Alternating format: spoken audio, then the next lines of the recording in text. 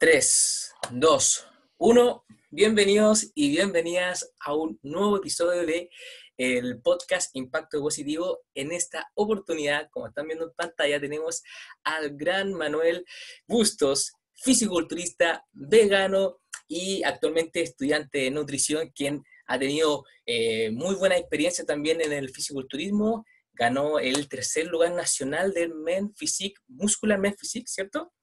Correcto.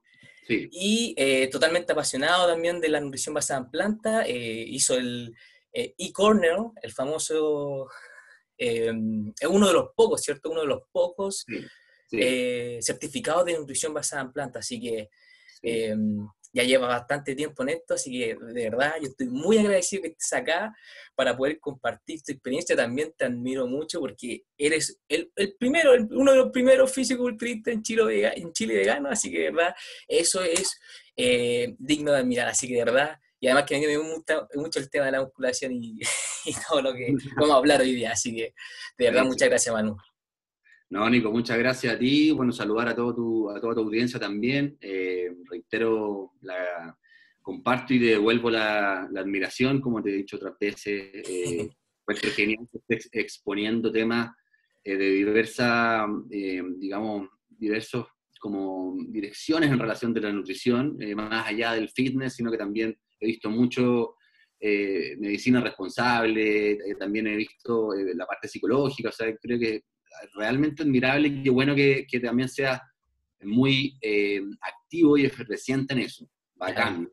Muchas gracias. Sí, muy,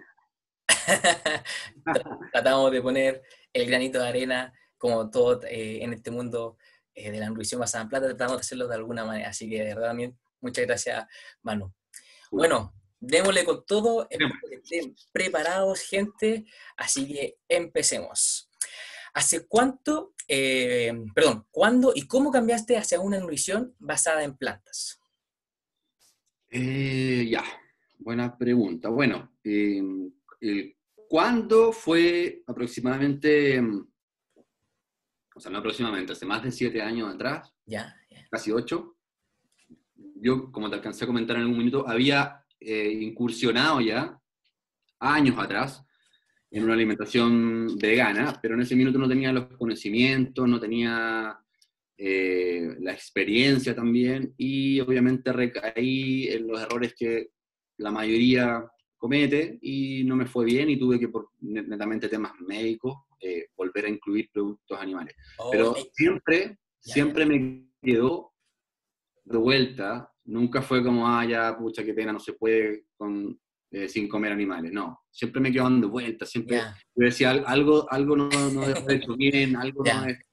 Entonces, y al punto de que, claro, empecé a, eh, ya cuando comencé mis estudios de nutrición, ahí eh, me explotó la cabeza, ya me terminó de explotar cuando hice el, el netamente, ahí ya fue el, el, golpe más, más así en la cabeza, que dije, no, esto no, puedo estar, no puede estar tan equivocado, esta, esta evidencia bueno, ¿sabéis cuál, fue el, cuál fue el punto culmino? Cuando me leí el estudio de China. Ah, eh, ya, claro. Sí, eso, ahí fue el, primer approach al golpe. Y el segundo fue, de hecho, el segundo libro de Campbell, el que habla del, del, fraude de la dieta baja en carbohidratos. No sé si lo, lo cacháis. Sí, lo, lo, lo he visto, pero no, no, todavía no lo tengo. el 2013. Está, en internet también. Está muy bueno. Sí. Buena, buena. Eh, así que eso, Nico, en hace siete años atrás hice el cambio ya, eh, radical. O sea, había, ya había, o sea, yo no consumo, por ejemplo, leche, lácteos probablemente tal así como de la leche, no consumo desde que tengo 18 años, o sea, yo ya tengo 37, o sea, igual saca la cuenta. Ah, o sea, eres un vegetariano como ovo lácteo más que... Más que ya. yo dejé, por ejemplo, las carnes rojas y la leche, la dejé saliendo del colegio, 19, 20 años. Ah, Netamente por un tema que sentía que no, no, no, me hacía bien, me sentía pesado, me sentía... No me sentía como bien físicamente hablando, como sistemáticamente hablando, no me, sentía bien, pero no, no culpé, digamos, a, a los productos animales, sino que seguí comiendo huevos, seguí comiendo no, no tomaba leche, pero sí tomaba, comía lácteos, entonces igual era un poco lo mismo. comía pescado y comía todo. Entonces era, era, yo lo llamaba omnívoro más que volácteo. Ah, igual, igual claro. comía, Entonces era la leche, ¿no? Los lácteos igual conseguía ir consumiendo. claro, comía leche, o sea, comía queso, Ya, principalmente. dale. no, comía, no, tomaba, no tomaba leche.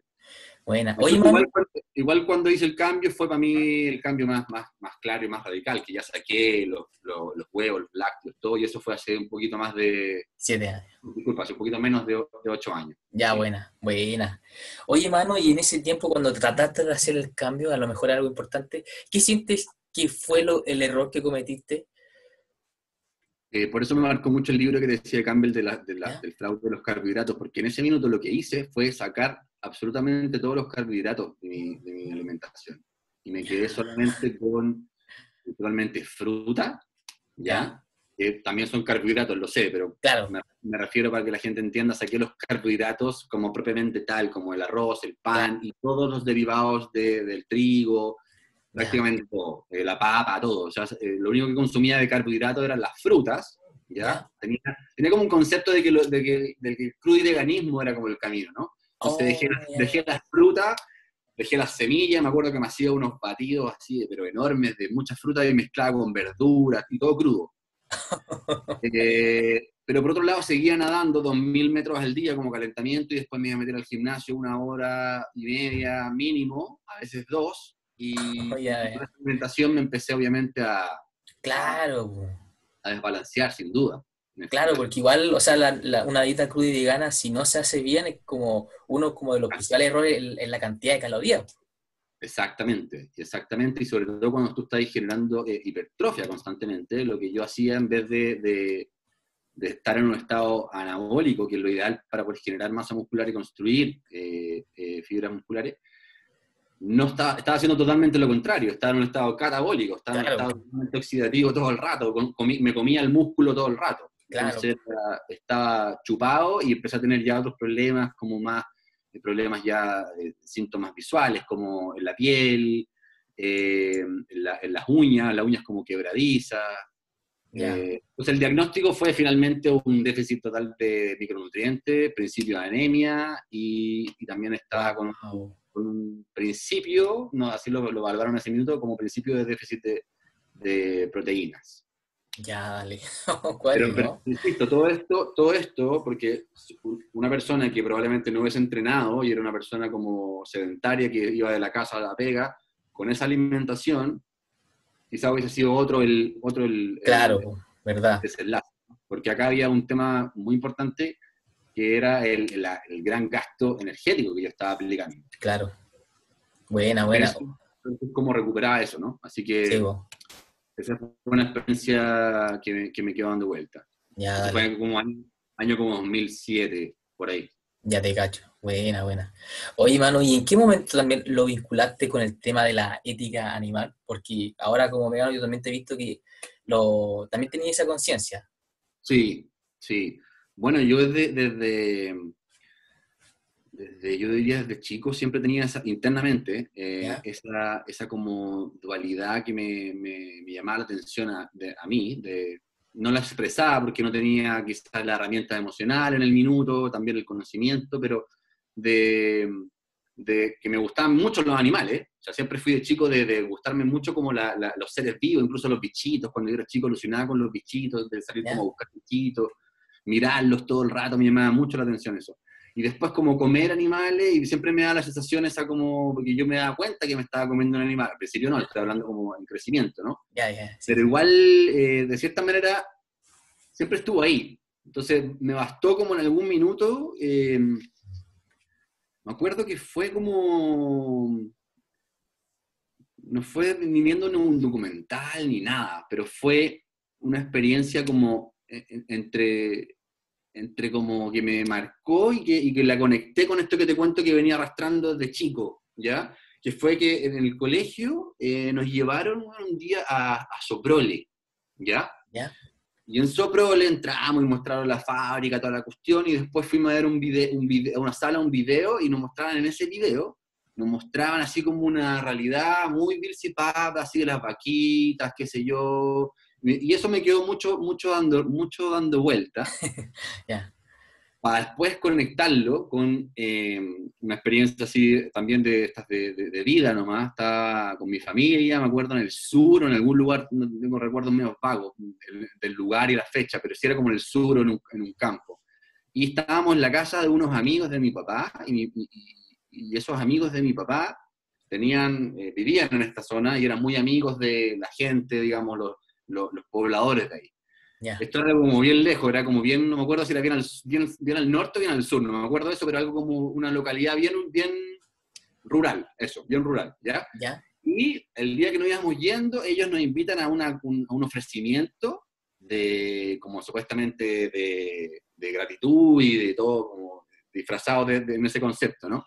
Que van a sacrificar un cabrito para nosotros y, y hacerlo, ¿ya? Mi papá nos va a buscar a mí y a mi hermano, oye, vengan a ver esta cuestión, qué sé yo, nosotros ya, como desde, la, desde la ingenuidad, ¿no? Inocencia un poco de, niño, yo he tenido 12 años máximo. veo, y veo, esto y quedé impactado. Quedé así... Te una, escena que me costó mucho después como digerir en mi interior, porque me impactó mucho la, esto de, ofrecimiento por bien buena, como el regalo un poco de hacia ustedes, pero de, yo vi como trajeron al cabrito, vi en todo momento su, su cara, sus su expresiones de susto, de pánico, de terror, de agonía. Y, y, me marcó mucho, Nico, me marcó mucho eso, de hecho, al punto que de ahí como que no, no, recuerdo bien cómo lo habré digerido, Nico, pero sí recuerdo que me marcó, me marcó mucho antes después. De, de, hecho, cuando hice la unión, me, me acordé de ese momento me acordé de ese momento. Claro, wow, qué acuático, o sea, acuático, pero también al mismo tiempo... Lo siento... porque había sido, así, había sido poco después de esto de, de Soprole, ¿cachai? Que fui a Soprole y entonces me hizo mucho ruido esto de, de estar como en la parte rural donde mostraban el video que era todo lindo, pero por otro lado ver esta realidad también que obviamente no... Oh, el video, ¿cachai? Pero, pero me marcó, me marcó Power, sí. Claro. ¿No? Y a mí, a mí lo que me llama la atención es que, porque igual, ahí eres súper chico, tuviste conciencia de eso, pero a pesar de eso después seguiste, pero yo entiendo que por un patrón que nosotros siempre tenemos. Pero aún así, ese, esa experiencia se mantuvo ahí siempre, y después cuando empezaste a vincular toda la nutrición, la ética, supongo que ahí, pa, llegó a eso, y pa, hiciste el, como el clic, le hiciste el... Tal, cual. Oye, Y, eso, y eso pasó, eso hace, hace, cuando cambiaste al veganismo, ¿tuvo relación con esto también? Como que hubo algún gatillante eh, como de algún documental, alguna experiencia personal, porque, claro, tú al principio me dijiste que fue mucho el tema de la nutrición, pero después cuando dijiste, ya, hice el cambio al veganismo, ¿qué fue? ¿Hubo algo ahí, algo más? Em, no, la verdad es que no, Nico, no, no lo recuerdo. Siento que la historia fue como, como se fue dando de esa forma y la verdad es que me acuerdo perfecto cuando llegaron como este boom de documentales, el mundo Netflix, la nueva era, y boom de documentales veganos, y todo el mundo hablando de lo, de, lo, de lo vegano, qué sé yo, que lo encontraba fascinante. Pero yo ya era vegano en ese minuto, entonces no, no, no lo conecté como le ha pasado a mucha gente de, de, de hacer el link ahí. O sea, de hecho, el primer documental propiamente tal que vi vegano fue el de Joaquín Phoenix, el que, el que narra Joaquín Phoenix, ¿no? Ya, dale, sí. Ya, ya. Eh, ¿Cómo se llama ese documental? Terribles.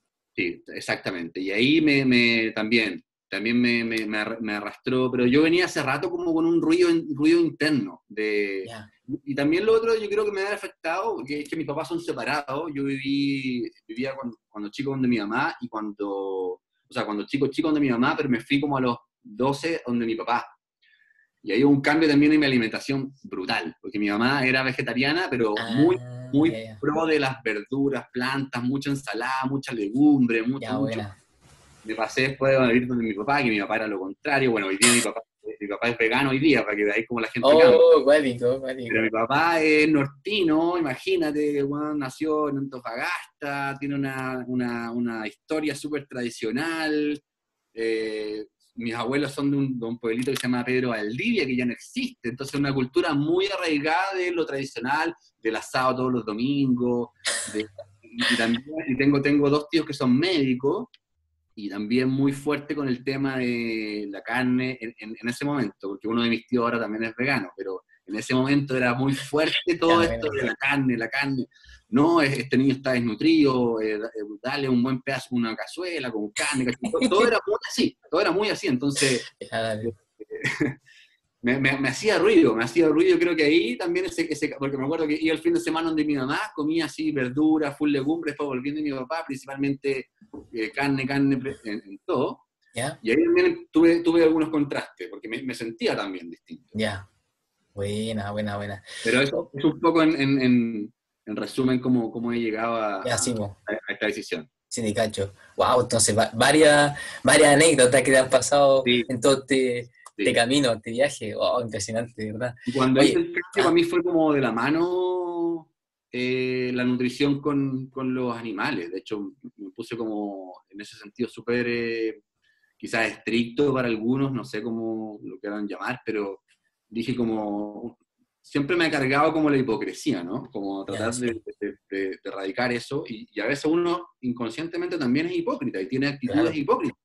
Que viene con, viene con patrones, viene con, con cosas, entonces, eh, en algún minuto estaba yo muy fijado en la hipocresía del resto, ¿no? Y de repente empecé a hacer un análisis más interno y dije, oye, pero ¿y tú? ¿Y esto? ¿Y esto? ¿Eso que hiciste? Y empecé como a, a, a llevar más el, el, análisis internamente. Con todo este también este, este cambio de nutrición, y para mí el cambio vino de la mano, entonces dejé también me acuerdo que regalé las zapatillas que tenía, cosas que tenían productos animales, y, trato de ser súper fijado en eso. Buena. Por un tema de que creo que el, granito tiene que ser progresivo, ¿no? Sí. No, no, estoy diciendo que, que, los que no son así son menos veganos, no. Yo creo que estoy súper en desacuerdo de, de, como esa nueva tendencia de quién es más vegano, o criticarse un poco entre los lo encuentro súper inmaduro y la verdad no, no, mucho, no aporta mucho. Así que, claro.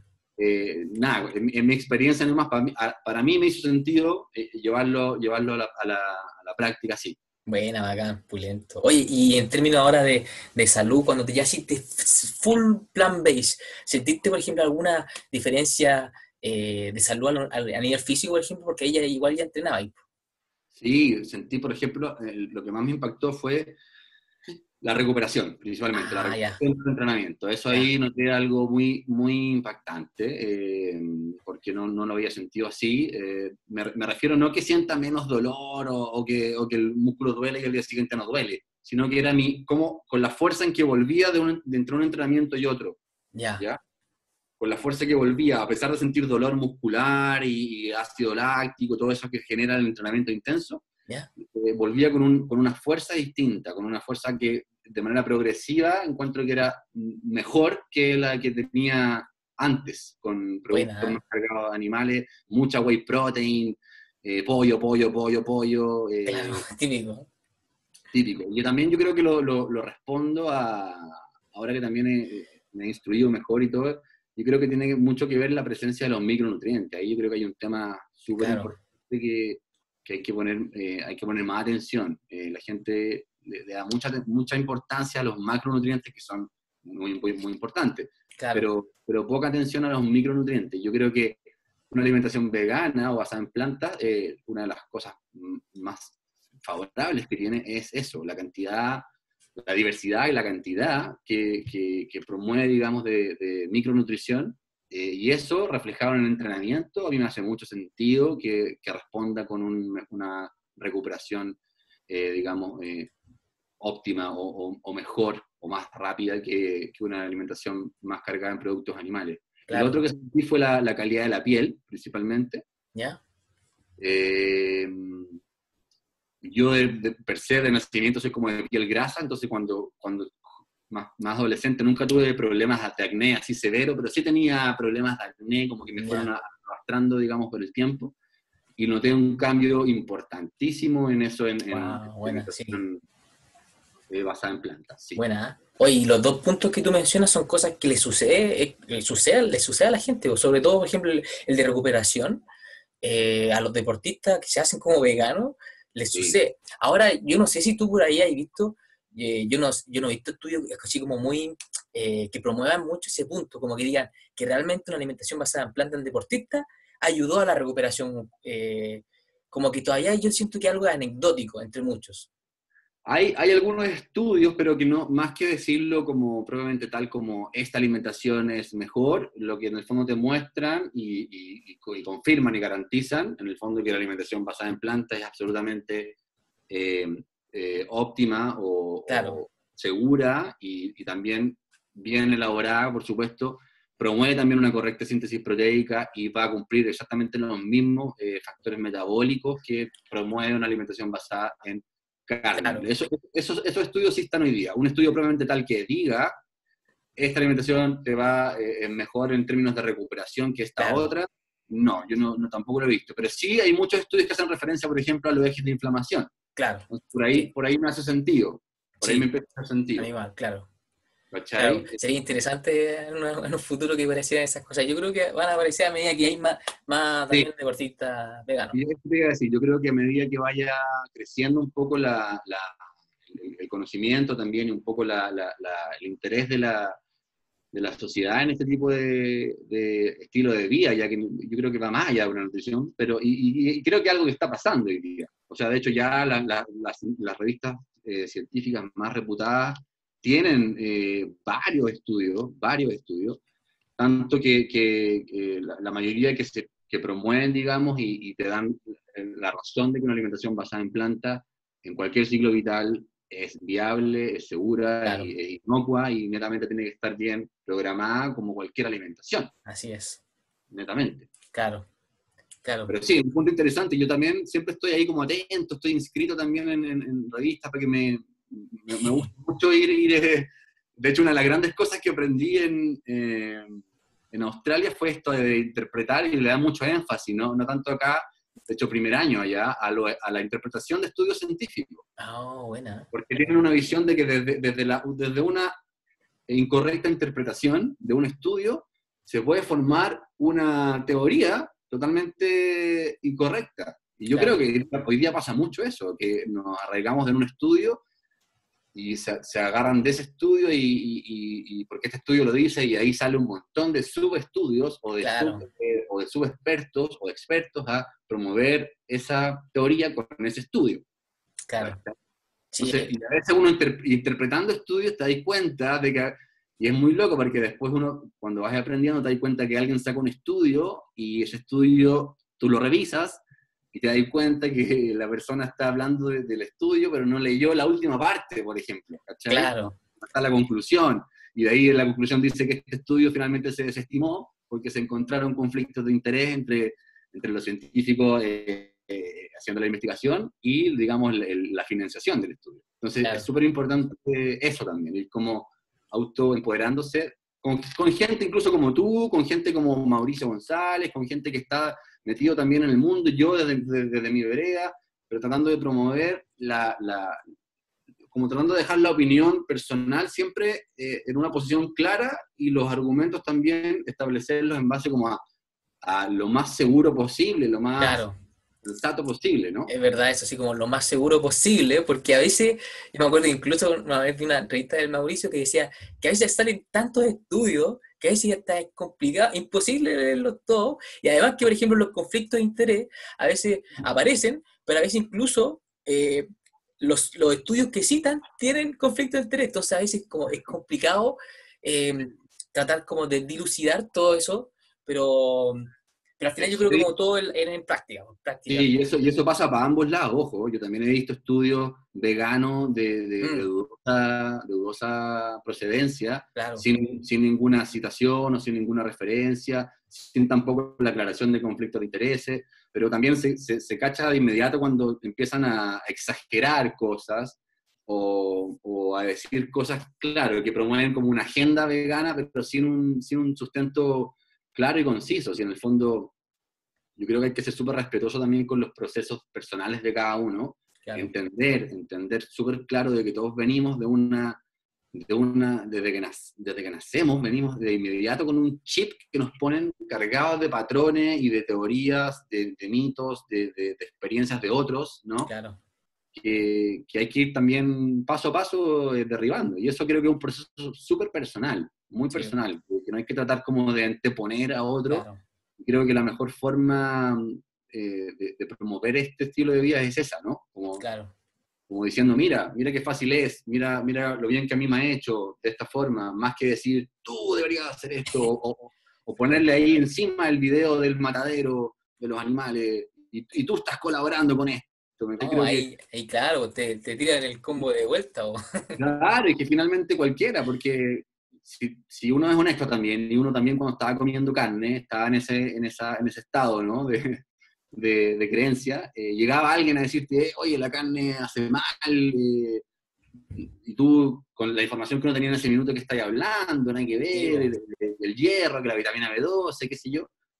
Entonces hay que ser cuidadoso y, respetuoso, yo creo. Claro. Ante todo, principalmente, y, y, después dejar hablar desde la verdad de uno y desde lo bien que a uno le ha hecho y siendo sensato también en, si uno va a traer ejemplos, traer los ejemplos que sean responsables y no, y no promover una, desde una exageración o desde un idealismo, como a uno le gustaría que fueran las cosas. Claro, es verdad también.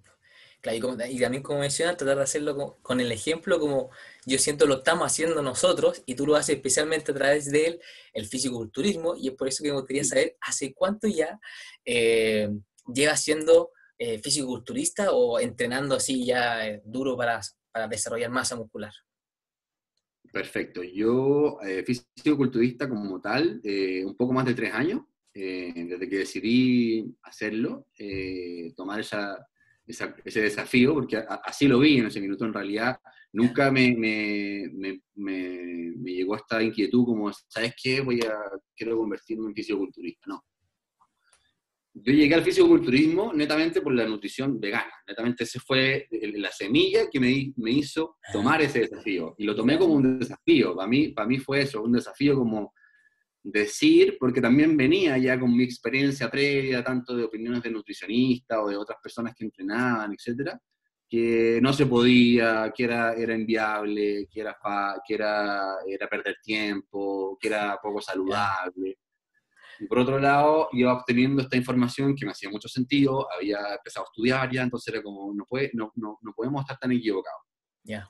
Y ese fue el desafío que me, que me, que me lanzó a, a, probar el, fisio, el fisicoculturismo. Entrenar con pesas ya entreno hace muchos años, yo te diría, ya cuando entrenaba natación, eh, entrenaba en el gimnasio complementario, y después me vino netamente el tema de la musculación con todo, yo te diría año 2007, año 2008. Ahí ya empecé con todo a trabajar muscularmente. Eh, también, también tuve que derribar el mito del fitness, ¿no? Porque hay un mito también eterno del fitness de que la gente que se preocupa de entrenar o, ir al gimnasio es gente como eh, vacía, ¿cachai? Como superficial, que busca netamente una, una, músculos para salir a mostrarlo y obtener ganancias de, a través de eso. No sé, no sé qué pensarán, pero piensan cosas, eh, la mayoría que no son, no son verdad principalmente y que no y que están alejadas también de algo que, que les haría muy bien, porque la musculación y entrenar es algo que se arrastra hace muchísimos años y hay cientos, o sea, no decenas, cientos de estudios que garantizan que el, entrenamiento con pesas es absolutamente saludable y, en toda etapa vital de la vida, obviamente no en un lactante, pero... Claro, ahí una Muy comprobado para salud. Claro, sí, oh, buena, buena, buena, buena. Oye, ahí, oye, ahí se cortó un poquito, ¿me escucháis? Sí, te escucho, te escucho. Ya.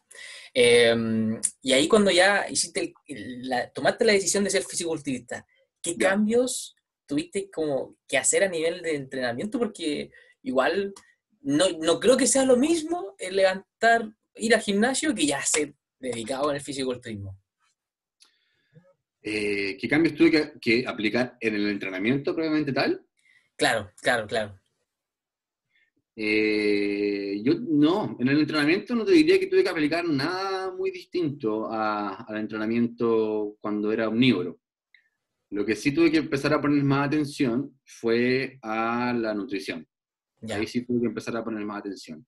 Y acá yo soy súper claro porque también eh, he escuchado muchas veces eh, a, a personas que promueven, digamos, que se puede en una alimentación vegana pero de cierta manera como que exagerando un poco, y a veces incluso diciendo como es más fácil, eh, y hablando como muchos beneficios, ¿no?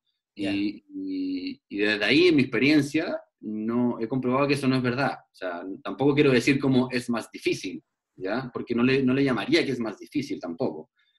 Pero sí hay que tener o manejar ciertos conceptos importantes. Claro. Importantes a la hora de... Porque si uno va y hace la transición, a hacer exactamente lo mismo que estaba haciendo en una alimentación omnívora, pasarlo al gimnasio y, repetir la misma nutrición en lo mismo, probablemente no vaya a tener los mismos resultados. Mm. Porque hay, hay, temas, hay temas que son verdad y que no los podemos debatir porque son, son verdad, ¿no? O sea, la proteína que se digiere más rápido, claro. Eh, indudablemente que es la proteína animal, eh, indudablemente que también el aprovechamiento de los aminoácidos esenciales también está comprobado que tiene un mayor porcentaje en la alimentación omnívora. Todas esas cosas se pueden ir mejorando con ciertos conocimiento, aplicando ciertos tips que son muy simples a todo esto. También por eso me da risa cuando la gente que trata de desprestigiar un poco esta dieta dice que es muy difícil o que uno va a tener que hacer cosas así como... Claro. como levantarse a las 4 de la mañana todos los días. Y, no sé. No, es verdad, son, son, son, temas muy simples netamente de, de, hacer, pero sí lo importante es saberlo, ¿no? Saberlo para aplicar esos cambios y, claro. y, ahí irte por un tubo, porque ahí ya en el fondo ahí es netamente biología lo que hay que esperar que suceda, es tiempo, o sea, y va, y, va a suceder si lo estás haciendo bien. Si tienes un buen entrenamiento de fuerza progresiva, tenías una buena nutrición que cubre todos tus macro y micronutrientes, eh, basado en el objetivo, ya sea crecer muscularmente o definir o perder peso, etcétera, va a funcionar si lo estás haciendo bien. Y, esto es, es, para todo, para una dieta vegana o una dieta omnívora. ¿ya? Eso es lo que la gente a veces también descuida, porque entrenar no solamente significa eh, estar progresando si estoy ganando músculo. No, no, no, saco nada si estoy ganando músculo y por, otro lado me estoy enfermando el hígado, ¿cachai? Claro. estoy sobrecargando los riñones, ¿cachai? No tiene, no tiene mucho sentido eso, ¿no? Claro. Eh, entonces eso, eso yo diría que es importante. Ya, buena. Como, tener Está claro que ya la nutrición, eh, un buen entrenamiento son pilares fundamentales para el ser físico-culturista. ¿Agregarías algo más? Sí, también tener claro el tema de la, de la paciencia. Ya. El tema de la paciencia es algo súper importante y lo veo muy seguido, muy día a día. Eh, me escriben personas que se quieran asesorar conmigo eh, y tienen unos ideales eh, muy alejados, pero extremadamente alejados a la realidad. Así como quiero crecer 5 kilos de masa muscular cada diciembre. Ya, ya, eh, eso es, imposible en una dieta vegana y en una dieta omnívora. Entonces, empezar a aterrizar ciertos conceptos, pero la paciencia creo que es vital en un físico-culturista, es vital, porque el físico-culturista yo diría que es una sino la más, es una de las disciplinas más exigentes de todas, porque nunca para, en el sentido de que tenéis que manejar tus niveles de cortisol, tus niveles de estrés, tenéis que manejar tu nutrición, tenéis que manejar tu, higiene del sueño, tu calidad del sueño, tenéis que eh, eh, también manejar muy bien el tema del entrenamiento, ir aumentando las cargas cuando corresponda, ir trabajando fuerza cuando corresponda, eh, ir haciendo el descanso cuando corresponda. Entonces, en el fondo es como, es una, una molécula muy grande que tenéis que ir abarcando varios puntos. Y eso creo que el más importante hoy día es la paciencia, porque hoy día queremos todo súper rápido, y lo más rápido posible. Entonces creo que físico-culturismo, culturismo, tal, eh, es trabajar, digamos, para aprender a poder eh, cambiar tu composición corporal de acuerdo al objetivo que tú tengas. Y eso lleva tiempo. Claro. a menos que, y de hecho, incluso seas un fisiculturista profesional, que te pagan por eso y te dedicas solo a eso, los culturistas que ya están ahí eh, en, ese, en ese nivel se hacen siempre de metas eh, mediano y largo plazo. Claro. Nunca, nunca en el corto plazo. claro, la paciencia creo que es fundamental. Y yo diría que también está muy alimentada por, esta, por este marketing de, del fitness, ¿no? Claro. De hacer creer de que tómate el suplemento de proteína, tómate los aminoácidos, y listo. Claro. Claro, entonces eh, es, una, es, una, es una obra de, muchos instrumentos que para poder dirigir bien tenéis que ser muy, sobre todo mentalmente, la paciencia y Claro. Sí. O sea, claramente yo creo que es algo que si uno lo desarrolla correctamente te sirve para la vida. Totalmente. Sí, sin sirve para la vida.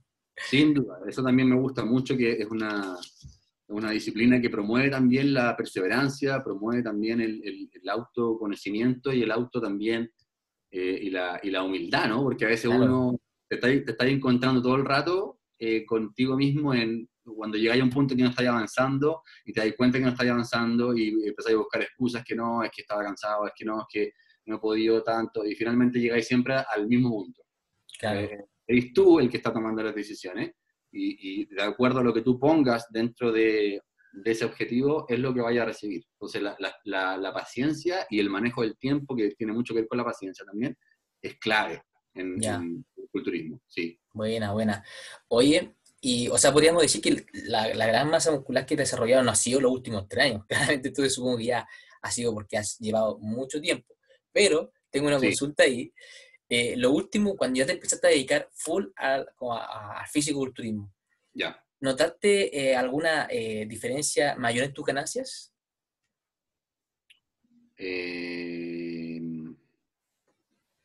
Mira, es que es una pregunta que siendo honesto, creo que no te la podría responder probablemente tal, porque cuando empecé a ser fisicoculturista ya era vegano y lo hice en ese, con, esa, con ese ímpetu. Entonces, no, no, y antes de eso, antes de eso, mi objetivo nunca era crecer muscularmente. Siempre era como ah, mantenerme, como verme, como verme, más bien marcado. Ya. Y eso lo lograba rápido. Entonces no te podría decir, no, Nico, sabéis que me puse vegano y... No, no, o sea, no, no, crecí, lo, crecí, lo, que nunca había crecido antes, no, no sé. Pero sí te podría decir que, que, ese mito que se dice de que con la alimentación vegana no se puede desarrollar músculo, eh, falso, porque una vez empecé a aplicar la alimentación vegana, empecé a, a optimizar mi nutrición, a entender el, el tema eh, gasto calórico y gesta calórica, eh, empecé a subir así. Claro, mano, pero yo, problema. yo, me refería más, no cuando comenzaste a ser vegano, sino que cuando comenzaste con el físico-culturismo, porque fue después eso, ¿cierto? Claro, y ahí yo supongo que empezaste a aplicar pautas más disciplinadas, empezaste... Entonces ahí eh, hubo también eh, eh, diferencias significativas, así como decir, o fueron, a pesar de que, porque, mm, a ver, ¿cómo lo explico? Porque yo siento que cuando uno no entrena para el fisiculturismo, lo entrena como de forma amateur, ¿cierto? O sea, entonces después de, la decisión de tomarte el desafío de ser fisiculturista, ya. ahí que, las ganancias fueron mucho mayores, fueron poquito. Sí, no, sí, ahí, ahí te entendí la pregunta. Sí, fueron mucho mayores, fueron mucho mayores, sí. Una vez que tomé la decisión de, y le puse también eh, como la direccionalidad a eso, sí, sin duda, sin duda. Ya, buena. buena, sí, porque ahí puede que haya también mucha gente a veces que lo único que hace es entrenar gimnasio, pero puede que le falta esa, esa mm, conocimiento del físico culturista para realmente ganar el gran, problema, yo te diría, fuera de cualquier tipo de broma, el 90% de las personas que van al gimnasio y quieren ganar masa muscular están en un déficit calórico y no lo saben. Claro, claro. A lo mejor les da miedo comer más. Exacto, porque tienen el miedo de que si como mucho, es gordo. Entonces, como no quiero engordar, eh, y ahí entra, y ahí entra como el, digamos, el gran mito, y, ahí se, se, enredan, digamos, y le meten mucha proteína, muchísima, más de lo que realmente se necesita, le sacan toda la carga de, de carbohidratos, o, muy, o muy bajito, ¿ya? También muy bajita las grasas, también ese otro, otro gran mito. Entonces, sacan todas las reservas de energía, principalmente, y le dan full a la proteína, y full entrenan y quieren crecer. Entonces, no hay por dónde, ¿cachai? No hay claro, o sea, definitivamente, aunque tengáis mucha proteína, no sirve de nada si no se está ah, en un, en un eh, superávit y haciendo las cosas a tiempo. Exacto. Manejar el estrés y todo, todo lo demás, que también eh, está dentro de, la, de, lo que vamos a conversar un poco más adelante. Oye, antes de eso, eh, ¿qué crees que es lo más difícil de ser fisiculturista? Uy, lo más difícil de ser fisicoculturista, eh, yo te diría eh, estar siempre en, constante preparación y, de cierta manera nunca poder desconectarse.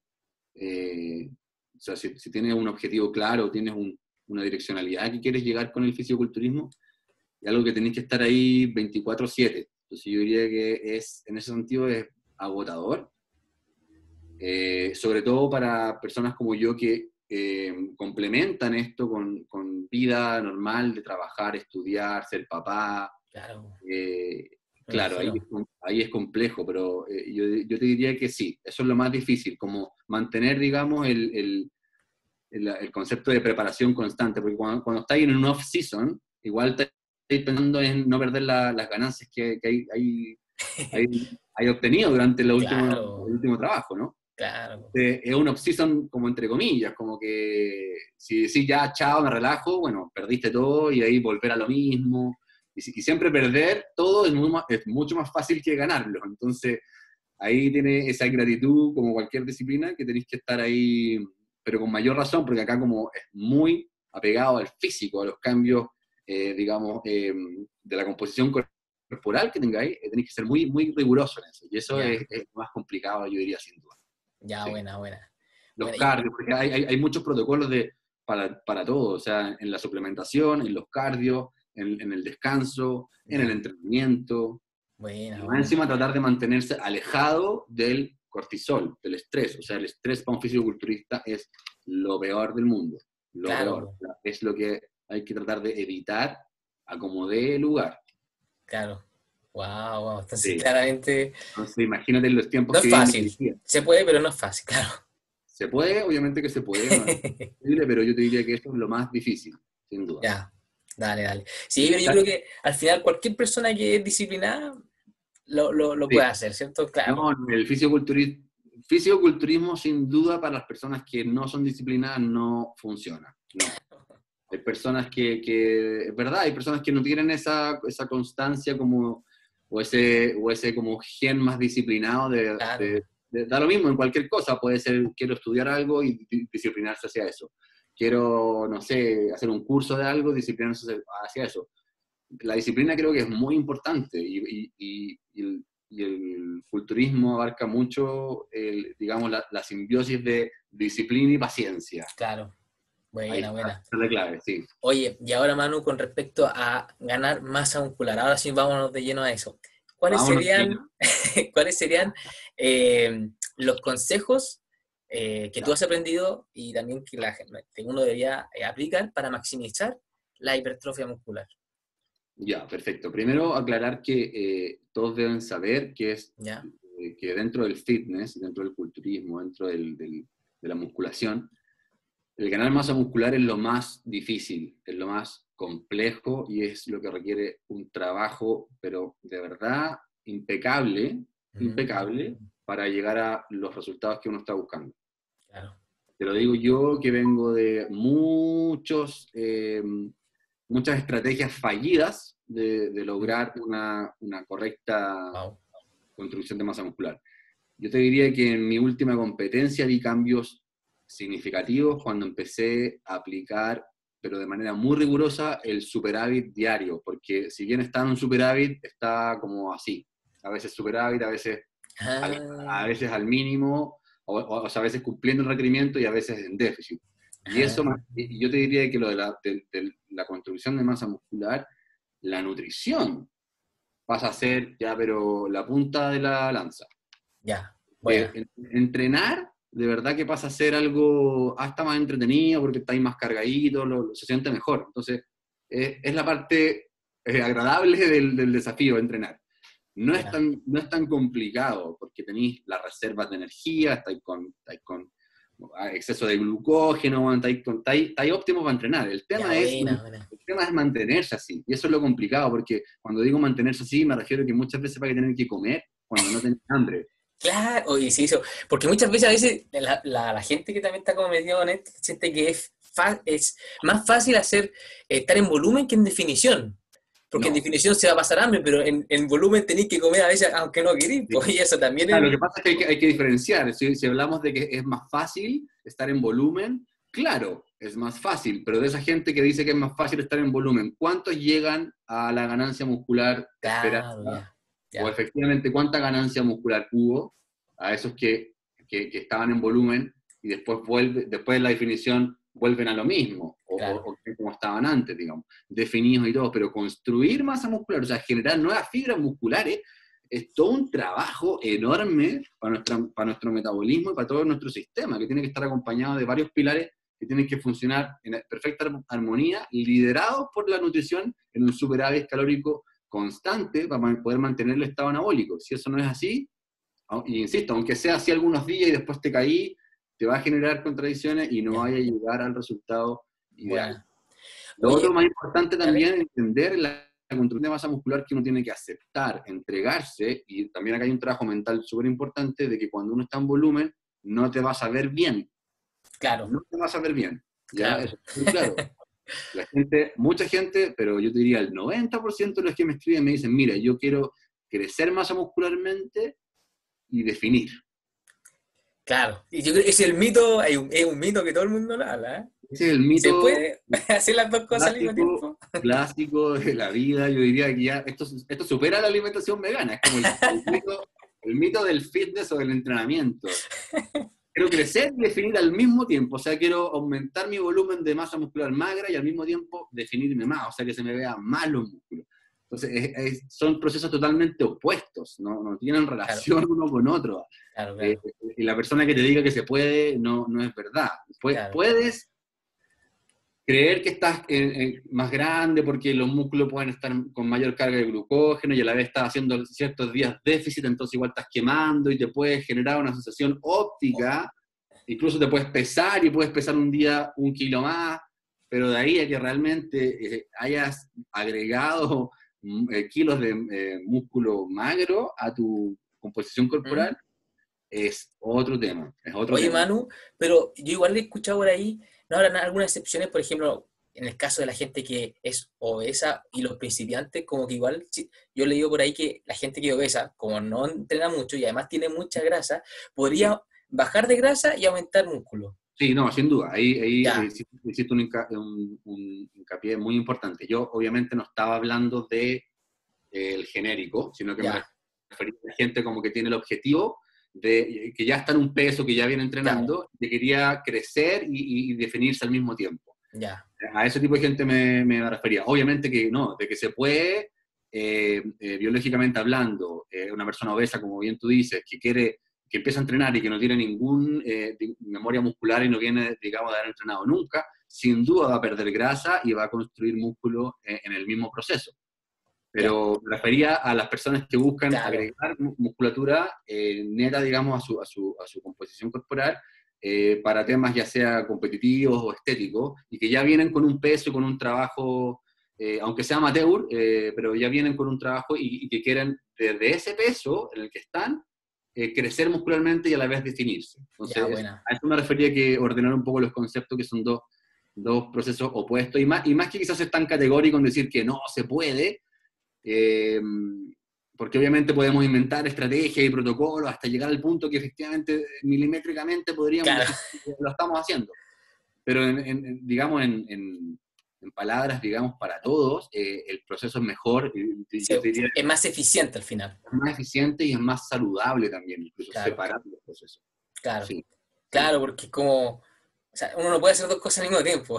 no, no, no, no, puede, y estas cosas son, son como que van para lados distintos. O sea, metabólicamente hablando, es súper importante entender eso para poder generar el objetivo que uno quiere. Yo me tropecé muchas veces con esa misma piedra, años me tropecé con esa misma piedra. Ya, dale quiero crecer y definir, quiero crecer y definir. Y de cierta manera era mi, mi, mi, propia inseguridad de no querer eh, taparme, ¿no? que se me borren las calugas, puta, claro. como más gordito de cara, o, ¿cachai? y eso muchas veces arrastra eh, esta creencia de que no, no, de que se puede, se puede, pero es mejor, digamos, hacer las cosas bien. Si uno, si uno, y lo otro importante, el volumen, tomárselo con calma, tomárselo con tiempo. También esas cosas, esos, esos volúmenes de, de tres meses, de dos meses, eso mismo te quería preguntar ahora. ¿Cuánto tiempo aproximadamente uno debería, según lo que se ha aprendido, hacer el, volumen? Ya. Puta, yo, Nico, siendo honesto, y aquí quizás varios van a estar en contra, pero eh, el volumen para mí, eh, hacerlo bien, hacerlo bien, bien, bien, bien, se tiene que tomar por lo menos, así, pero te estoy hablando de lo mínimo, de lo mínimo, de lo mínimo. Ya. De lo mínimo, de lo mínimo, de lo mínimo. no le dan amores. Yo te diría, pero así, pero. Mira, 14 semanas. Ya. Lo mínimo. Dale, para dale. Un, para un volumen, digamos. 14 semanas, un poco más de 6 meses, entonces, ¿cierto? Sí. Sí, yo te diría trabajar el volumen a ese, a, ese nivel. Obviamente de forma natural, obviamente de forma eh, saludable, que no sea una locura, ¿ya? Yo lo hice así... estoy mal con la matemática. 14 semanas no son 6 meses, 14 semanas son 3... No, pues 14 semanas... Meses, tenéis 3 meses... Y medio. Yo tengo mi ayudante. Exactamente, 3 meses y medio. claro un pelito, un pelito más, pero sí, tres meses y medio. Claro, eso, sería como lo mínimo, claro. Mínimo, sí, lo mínimo, lo mínimo, lo mínimo. Yo he hecho, mi último volumen fue de seis meses. Claro. Ya te creo. Claro que al final yo veo como esto como la gente que está en competición constantemente tiene que ir como eh, bien, evaluando bien la cantidad de tiempo, pero por ejemplo si eh, soy un fisiculturista que voy a competir a, cada dos años, podría alargar el volumen y eso significaría que podría ser más eficiente la, o podría ganar más? Si tú, si tú amplías el tiempo de volumen, ¿Mm? sí, yo te diría que sí. Sin duda, porque, insisto, un tema, es un tema que toma tiempo, un tema que toma tiempo, no solamente, no, tiene, no tiene solamente que ver con el entrenamiento, sino que tiene que ver con la ingesta calórica, tiene que ver con el metabolismo cómo yo de cierta manera voy acostumbrando o direccionando a mi, a mi metabolismo a que voy a estar consumiendo un tiempo un superávit calórico. Si, eso lo, lo, disminuyo en tiempo, ¿qué significa? Que tengo que aumentar aún más mi superávit en un tiempo más reducido, y eso va a también tener consecuencias eh, en tu organismo, puede tener consecuencias en tu hígado, en los riñones, etcétera, diversas patologías se pueden generar ahí si uno no, si uno solamente por apurar el proceso. Yo lo hice, yo lo he hecho en en el mínimo tiempo que lo hice fue, por ejemplo, en dos meses, que fue la competencia que salí tercero, y ahí yo te diría que vi un, mi gran error fue haber, no haberme tomado el tiempo de volumen correspondiente, porque yo hubiera llegado mucho mejor eh, a, esa, competencia si, si yo hubiese hecho un volumen con un tiempo mayor. Claro, porque después te pilla la definición, y ahí tienen que... Es importante... Exacto, la definición... Porque la definición no se puede cambiar, o sea, tiene que ser una cantidad de semanas... Sí, no, la definición antes del campeonato, dices tú, antes de una fecha competitiva. Claro, o sea, como que la definición es, más, es, no, no, no, puede variar tanto la diferencia del, volumen, creo yo, ¿no? No puede durar tanto, dura mucho menos por lo general. No, la definición dura mucho menos, la definición tuya en, no sé, seis semanas, seis semanas es una, un tiempo sensato, si vienes con un buen trabajo, ¿ya? Por lo general, por lo general va a ser un poco más, van a ser va a ser aproximadamente, claro, pueden ser dos meses y medio, por ahí, pero, pero yo te diría que sí, por lo general la definición es la mitad del tiempo, o un, poco más que la construcción de masa muscular. Ya, dale, dale. Oye, y ahí en la definición, ¿qué, qué, qué, sería lo más complicado? ¿Se pasa hambre o no se pasa hambre? Viéndolo así. Eh, sí, se pasa hambre, se pasa hambre.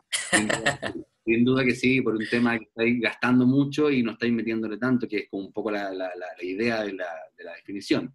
Pero, pero yo te diría que más que pasar hambre, el tema mental ahí está Sí, el tema anímico uh, y el tema de hacer una buena nutrición es clave porque eh, acá es súper importante aclarar algo que esto yo una vez lo dije en una charla y fui altamente mal interpretado. ¿Ya? Dije, dije, que el fisicoculturismo no era una disciplina saludable. ¿ya? Ah. Y eso lo, lo, lo, descontextualizaron y lo llevaron a un plano que no era el, el, el, al que me refería. Porque desde ese punto de vista, correr una maratón tampoco es saludable. O sea, sí, que, tengáis las articulaciones rebotando en el concreto todo el rato. Sí, o sea, todos los extremos al final siempre van a, no van a ser, eh, el cuerpo no lo va a agradecer, claro. Exacto, y, y cuando estamos en esa, en esa vereda, eh, muchas veces el rendimiento no va a tener que ver con los saludable, ¿cierto? Y por eso a mí me encanta y amo este tipo de alimentación, sobre todo en el fisicoculturismo, y desde mi punto de vista, todos los fisicoculturistas deberían ser veganos, por, la, por, la, por, la, por la, digamos, por, la, por el input preventivo claro. que impone per se la nutrición vegana, cardiovascular, cognitivamente, el tema, eh, el tema óseo, eh, etcétera, el tema hormonal, etcétera, etcétera, etcétera porque como tiene hartas fases que son de extrema eh, digamos, em, de niveles muy extremos, como pasar de un superávit a un déficit, con un entrenamiento que no para de ser constante, que no para de ser intenso. Imagínate a tu cerebro, le sacáis su, su fuente de energía principal, que es la glucosa, le sacáis todos los carbohidratos en un minuto y seguís entrenando. Entonces, eso eso es, complejo mentalmente, te afecta el ánimo y, muchas veces eh, cuando uno cuando está partiendo uno en esto, eh, tira la toalla, tira la toalla y claro. Y, claro, como que de cierta manera se autoconvence uno de que no, que, es muy poco saludable, qué sé yo, pero es súper claro en eso, cualquier disciplina que conlleve un rendimiento al máximo nivel, y esto corre para todos, futbolistas, eh, atletas olímpicos, claro. patinadores, lo que sea, va a llegar algún momento en que la disciplina per se, por el, por el nivel de exigencia que requiere, también podríamos catalogarlo como no saludable. Claro. Entonces, por eso hoy, y le doy tanto énfasis, sobre todo en el culturismo y el fitness, a, la alimentación basada en plantas, que creo que la cantidad de suplementos que se ponen eh, los atletas, Claro. Eh, la cantidad de, de proteína animal, porque al final igual, a pesar de que, claro, están, eh, podrán consumir muy, muy sano, podrá ser muy sano, pero aún así es mucha proteína animal a veces, y eso... Es mucha proteína animal con un alto déficit de micronutrientes que no pueden, no pueden hacer esta pega compensatoria que tienen los, micronutrientes de reducir inflamación, optimizar metabolismo, optimizar absorción de nutrientes, no, no, quedan, quedan total, entonces el cuerpo está en un estado constante de eh, búsqueda de cómo ir resolviendo, digamos, estos, patrones. Y al final, eso, claro, la gente parte joven y no le pasa nada, porque esto, esto no es que te vaya a morir de un día para otro. Esto arrastra, es un camino largo, que pueden salir patologías después de 10 años, 12 años. Pero se empieza a ver, si tú agarráis, digamos, la lupa y te echáis para atrás un poco y empezáis a agarrar a los atletas más importantes de culturismo, y todos 50 años, hiperinfarto, infarto, infarto cardiorrespiratorio, eh, wow. ¿cachai? Entonces, temas que empezáis a unir nomás los puntos y, ¿cachai? Claramente que la nutrición se enfocara netamente en los macronutrientes y, y había un déficit enorme en, micronutrientes y, y, esto prolongado por años, llevado también a extensos entrenamientos, extensas sesiones de, de, déficit de, o de cardio, etc., eh, obviamente puede ser muy perjudicial para la salud. Entonces, por eso en ese momento dije, el fisioculturismo como tal no es una disciplina saludable pero me refería a que tiene estos pics, hay que entender de que el rendimiento eh, muchas veces no es, no es saludable. Entonces, por eso uno tiene que tratar de, o, mi, visión por lo menos, porque obviamente siempre me quiero cuidar y siempre quiero que no me pase nada, eh, nada malo, digamos. Eh, por eso me, me, me, ha vuelto como tan, digamos, efervesciente con, con, promover esta alimentación en el fitness, porque creo que es lo que todos necesitan. O sea, si, si, tú quieres ser fisiculturista de verdad y dedicarte a eso, y no eres vegano, eh, las consecuencias van a ser peores, sigo. preocúpate desde ya de tu corazón, preocúpate desde ya de tus articulaciones, preocúpate desde ya de tu cerebro, preocúpate desde ya de eso, porque claro. si no, tarde o temprano, y no lo digo yo, o sea, ahí, va, va, a caer, va a caer algo, porque el cuerpo no es infinito. Es una máquina de sobrevivencia que está todo el rato tratando de luchar por sobrevivir, pero si uno no le hace la pega fácil, se forman, digamos, pueden salir, tú sabes, mucho de eso, Nico, también, claro. diversas patologías. Claro, claro. Oye, sí, no, te creo totalmente, te creo totalmente. Y bueno, ahora pasando a los suplementos que también tienen relación con la nutrición, el fisiculturismo. Nosotros sabemos que siendo vegano uno tiene que consumir ciertos suplementos, pero aparte, como fisiculturista, ¿cuáles son los, los, suplementos que más importantes que tú consideras? Al tiro te respondo esa pregunta, pero quería cerrar un poco, Nico, la ah, última que dijiste, para responderle a los, a, los, amigos ahí que quizás no les quedó tan claro. Eh, ¿cuáles, serían los, consejos para maximizar la hipertrofia muscular? Ya, dale, dale. Los consejos serían, bueno, principalmente estar seguro de que uno está en un superávit calórico, eso es eh, fundamental. Claro, muy bien. segundo, el segundo consejo fundamental es priorizar, atacar siempre las piernas. Priorizar el entrenamiento de piernas es clave y ese es uno de los mejores tips que les estoy dando. Ya. Porque las piernas son el grupo muscular más grande del cuerpo humano. quiere decir esto? Que requieren mayor cantidad de energía. Por lo tanto, cuando entrenamos las piernas constantemente, nuestro estado anabólico es mayor. Claro, claro, claro. Entrenar piernas tres veces por semana es un súper buen consejo si tú quieres crecer muscularmente. Ya. ¿ya? Obviamente no vayas a hacer los tres veces los mismos ejercicios, no es que te Ya. pongas a hacer tres veces sentadillas, repeticiones máximas de fuerza. No, Ya, dale, puedes dale. ir variando y puedes trabajar incluso la pierna, dividirla en dos días y el tercer día hacer eh, ejercicios accesorios como trabajar gemelos, Ya, qué sé yo, pero trabajar y darle un gran énfasis a las piernas. ya, Segundo consejo, priorizar también ejercicios compuestos. ya, buena, sí, también. Súper. Sentadilla, dominadas, peso muerto. El peso muerto es el ejercicio por excelencia de la hipertrofia muscular. ¿Qué es lo que no se puede hacer ahora? yo, yo por lo menos no puedo. Sí, no, peso muerto es clave, es clave, es clave para el, para el crecimiento muscular. Muy, eh, O sea, antes para crear, o sea, podríamos decir que en cuarentena, entrenando en casa, igual uno se, se ve más complicado en ciertos puntos, ciertos detalles. Ya, Sí, sí, sin duda, no, sin duda. Principalmente yo diría, eh, yo te lo digo desde mi, desde mi experiencia, incluso yo me, me- me compré algunas cosas, una, me conseguí una barra, yo, yo, yo estoy entrenando acá ejercicio compuesto y peso muerto y todo, pero aún así eh, he bajado mi, mi porcentaje de, de masa muscular, ya. pero, pero me lo he tomado con, con mucha Claro, calma. ya, bueno. Eh, o sea, de hecho ya, ya sabía que iba a pasar, netamente por el tema nutricional, porque obviamente estando en la casa no voy a comer seis veces al día como cuando comías cuando entrenaba y no había pandemia, Claro, ¿ya? Entonces ahí obviamente hay que obviamente programar mejor el entrenamiento, ya, buena.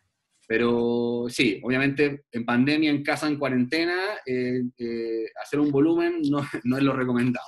Ya, sí se buena. puede empezar a comer más y empezar a, quizás acostumbrar al metabolismo a ingerir un poco más de calorías, pero obviamente si no estás quemando vas a empezar a quizás generar mayor grasa que músculo, que es lo que estamos buscando. Entonces, Ya, yo diría que ahora enfocarse en pandemia, en, en- en una nutrición saludable, balanceada, mantenerse. mantenerse, exactamente. Buena, buena. Tercer eh, consejo que he dicho para la hipertrofia, ejercicios compuestos. Y el cuarto, eh, eh, perdón, cuarto, cuarto y penúltimo consejo, eh, de- el descanso. El descanso es clave. Ya, buena. Acuérdense que no crecemos cuando estamos entrenando, no crecemos cuando estamos comiendo, no crecemos cuando estamos haciendo cardio, no crecemos cuando estamos en el baño, no, crecemos cuando estamos durmiendo. Ya, buena. Importante, sí, porque hoy día con tanta viaje tan agitada, el, el descanso no se prioriza tanto. Exacto. Si, si no tenéis el descanso claro, la mesa va a seguir coja, aunque tengáis la nutrición en el, en el superávit, el, el entrenamiento, los ejercicios compuestos, el descanso también tiene que acompañar, sin duda. Ya, Y último, y último consejo, y aquí pasamos a la siguiente pregunta, la suplementación. ya La buena. suplementación, Buena. la suplementación en el fisiculturismo es condicionante, o sea, es necesaria sí o sí. No es un consejo ni no es un tip, no, es necesaria. Y cuando digo suplementación no me refiero a proteínas y ya, sino que me refiero a una, a un- una serie de cosas que vamos a conversar ahora, Ya, pero es súper importante tener claro cuando hablamos de, sobre todo, desarrollo muscular. Ya, buena. Primero, eh, mm, bueno, la pregunta es, ¿cuáles serían los suplementos más importantes? Claro, ¿cierto? sí, sí. Los vamos a enumerar. eh, son hierro, eh, vitamina D3, eh, zinc, magnesio, omega 3 y proteína. ¿ya? Ya, Esos, esos seis son condicionantes, condicionantes, Wow. condicionantes si queremos construir masa muscular. Ahora, si hay alguien que, aparte eh, de construir masa muscular, no sé, quiere mejorar su fuerza, levantar más peso y ya pasamos ya, como por ejemplo, como los powerlifters en el caso Ya. de, yo eh, agregaría, en ese caso, eh, taurina y eh, carnitina. ya, dale. Disculpa, creo que creatina te lo mencioné antes, ¿no? No, ese no. Sí, por eso también estaba con la. Estaba... No, disculpa. Déjame aquí, que tengo, aquí tengo mis apuntes para la entrevista, Nico. Ya, buena. Para ir ordenándolo. No, el tema de la, la suplementación, te lo digo al tiro, lo había separado en dos para que quede súper claro. A la, a Ya, la- sí, vos. Hay que ahí. dejarlo claro. esto es un tema súper también recurrente, me lo preguntan harto. Me lo preguntan harto. Ya. Entonces, suplementación fundamental sería Ya, omega 3, démosle. Omega 3. vitamina D3, ¿Ya? hierro, zinc, magnesio, ¿Ya? creatina, Ya, buena, buena. y proteína. Esos siete suplementos son clave Ya, desde dale. mi punto de vista para, la- para el fisiculturismo y sobre todo en el desarrollo de masa muscular. Si agregamos los powerlifters y ya mayor impacto en los impulsos del entrenamiento, eh, yo agregaría eh, taurina y carnitina. Ya, bueno. Nuevamente por eso. Dale, dale. Pero eso en base a, la suplementación. No sé, si quieres que hablemos un poquito de cada uno, como tú quieras. Ahí, ahí claro, ahí yo tengo una duda porque em, yo también como que me metí a investigar bastante sobre esto y he visto que también hay muchos suplementos que se venden y al parecer no sirve de nada. Sí, eso también es un punto súper importante. Claro. Sí. O hay algunos que son como, hay algunos que dicen que sí, hay otros que dicen que no, entonces ahí como que también, por ejemplo, eh, ya, yo tengo entendido que la creatina tiene suficiente evidencia así como para decir, ya, esto sirve, ¿cierto? Sí, la creatina de hecho está comprobado, y esto es súper importante que los amigos veganos que están ahí escuchando esto lo sepan, está comprobado que los músculos eh, veganos eh, tenemos menor concentración de creatina. Y, también la creatina es uno de los suplementos más estudiados, más eh, garantizados. De hecho, todos los años eh, la Asociación de Australiana de Suplementación Deportiva siempre cataloga la creatina, este, lo, lleva haciendo desde su inicio, como uno de los suplementos más seguros. Está comprobado que, que, el consumo de creatina en entrenamiento de fuerza progresiva tiene un impacto entre el 10 y el 15% de mejora.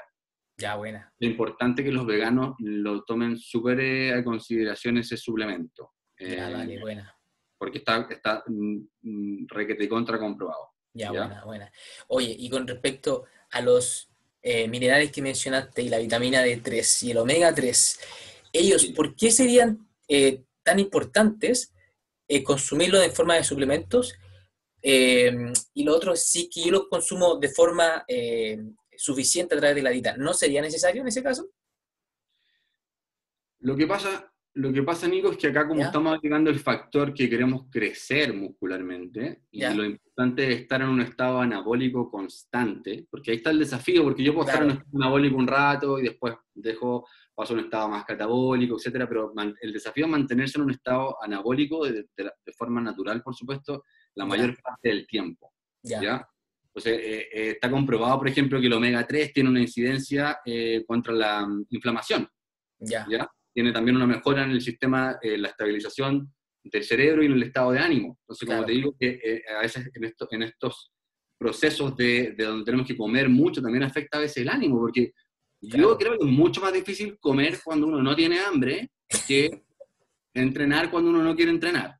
En serio, yo me he puesto en esa, en esa circunstancia y de verdad comer cuando uno no tiene hambre es súper complicado, y sobre todo cuando estáis hablando de no, no, no un batido, sino que tenéis un plato de 300 gramos de carbohidratos, 25 gramos de proteína, y tenéis que comerte todo eso. Ya. Y, si te demoráis mucho, después viene otro plato, y después viene otro. Entonces, finalmente, ahí está el desafío. Entonces, por eso es muy importante mantener los niveles de esos micro eh, nutrientes muy, muy ya, buena. Al, al, pie de la letra, para que tus niveles siempre es mejor que estén en excedentes. Acuérdate que la mayoría, todos estos son minerales o vitaminas. Vitaminas son hidrosolubles, cuando hay exceso se eliminan por la orina. Son, son, son, eh, son, digamos, suplementos que no tienen compuestos farmacológicos, pues tampoco van a tener una incidencia eh, en el hígado, en los riñones. Entonces, es importante que la gente diferenciar estos suplementos que vemos así llenos de marketing. Eh, de ahí vamos a hablar de eso un poco, pero eh, la vitamina D, el hierro, el zinc, el magnesio, todos, todos estos son micronutrientes que están presentes también en la dieta, y como su nombre lo dice, los requerimos en dosis bastante bajas. ¿ya? Pero como aquí estamos agregando el factor no menor que quiero crecer muscularmente, y para eso estoy aplicando una, un superávit calórico, además de un entrenamiento de fuerza progresiva constante, es súper fácil eh, desordenarse en esos niveles y la implicancia que va a tener en tu resultado es súper también eh, tangible. Por eso es recomendadísimo mantener esos niveles en constante. Ah, que esos indicadores están siempre arriba, idealmente pasados del, del, mínimo. Oye, y yo supongo que en déficit habrá que aumentar un poco más, ¿no? Sí, también. Buena, buena. Exactamente. Cuando, estáis definiendo, sí. Sí, tenéis que aumentar eh, bueno, la, cantidad de proteínas sobre todo. Eh, como va a bajar también los carbos y las grasas, tienes que aumentar sí o sí las proteínas. Y también ahí la suplementación pasa a ser, pero fundamental. Claro, claro, claro. Mantener, esos, niveles de, de, ¿cómo se llama?, de micronutrientes eh, es súper importante. ya, buena. Muy importante. Oye, Manu, y los, los dogmas, los que mencionaste, la taurina y la carnitina, ¿por qué serían importantes también?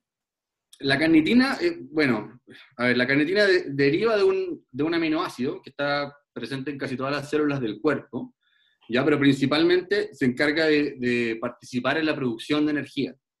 Ya, vale. Entonces, y también tiene una implicancia directa en, la, en el transporte de los ácidos grasos claro. a las células que se queman para obtener energía. Ya, vale. ¿Ya? Entonces, por eso es importante la carnitina, pero no es condicionante. Eh, con, eh, yo ahí agregaría la, carnitina, por ejemplo, cuando estamos hablando de, atletas de alto rendimiento, ya, buena. o powerlifter, o gente que, quiere, eh, que está más enfocada más que en crecer, en mejorar su fuerza. o sea, no pues tendría un efecto tanto de... porque mucha gente a veces vende la carnitina como con el fin de bajar de, de, de la grasa. Sí, por esto que te cuento, porque tiene, tiene esta implicancia en la...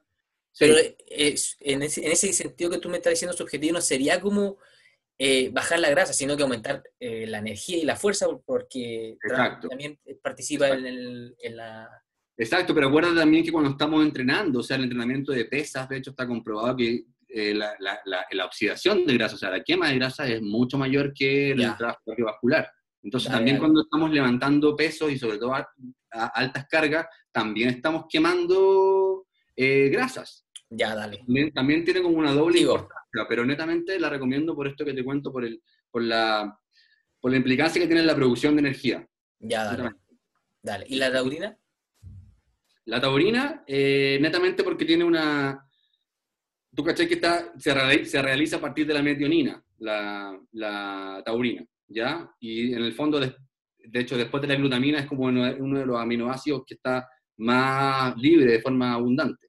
Ya, Pero tiene, tiene una, una, implicancia directa en regular el estrés y en la salud del cerebro, la salud cognitiva. Entonces lo, lo, recomiendo, lo recomiendo mucho para, sobre todo, estos momentos de, de que, estáis, que tenéis que comer mucho, tenéis que entrenar mucho y a veces no llegan los resultados, te, te genera estados de ánimo confuso o, o, te genera cortisol también lo recomiendo netamente por eso. Cuando estáis, con la parte también, agregarle al, al, tema de crecer muscularmente, estoy también con una intencionalidad de mejorar mi fuerza. Eso, también, eso, conlleva también procesos bastante, bastante em, bien precisos. Entonces, por eso es importante mencionar eh, estos, estos, estos suplementos. Claro, claro, que pueden hacer una, una diferencia eh, que yo lo que siento no es lo más importante al final, porque yo siento que lo más importante es la nutrición, el ejercicio, el descanso, pero ahora a la hora de competir, esto hace también una diferencia.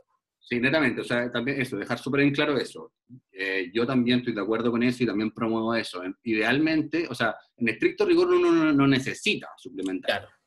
Partamos de ahí. Esto lo estamos recomendando netamente para fines competitivos, fines ya sea estéticos, o que, que alguien tenga un, desafío personal también puede ser, pero que va a implicar, digamos, cambiar ciertos, ciertos digamos, hábitos para poder llegar a, esos objetivos. Claro. En ese caso, que ya nos salimos del, del individuo promedio, nos, salimos de que las 2.000 calorías eh, cubren todos los macro y micronutrientes, en ese ámbito, y que, que es el, que muchos también quieren, digamos, probar y a veces no, no eh, entran y, y, salen porque no lo logran, tiene una directa implicancia el suplementarse con, con, estos eh, vitaminas y, microminerales. Claro, sí. creo que es importante aclarar eso.